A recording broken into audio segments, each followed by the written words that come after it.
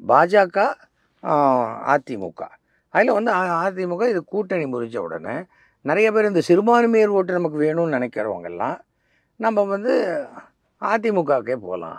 அப்படின்னு நினைப்பாங்க இப்போ வந்து அண்ணாமலை மறுபடியும் நேற்றுக்கு ஒரு இது ஒரு உளறல் பண்ணியிருக்காரு எங்களுக்கு திமுக தான் எதிரி.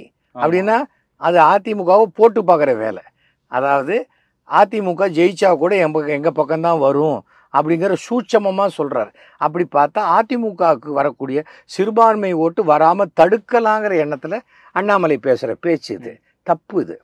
அவங்க இல்லைன்ட்டாங்கல்ல. நீ அப்போ எனக்கு ரெண்டு பேரும் எதிரின்னு சொல்ல வேண்டியது தானே? இல்லையா? கூட்டணி முறிஞ்சு போச்சு.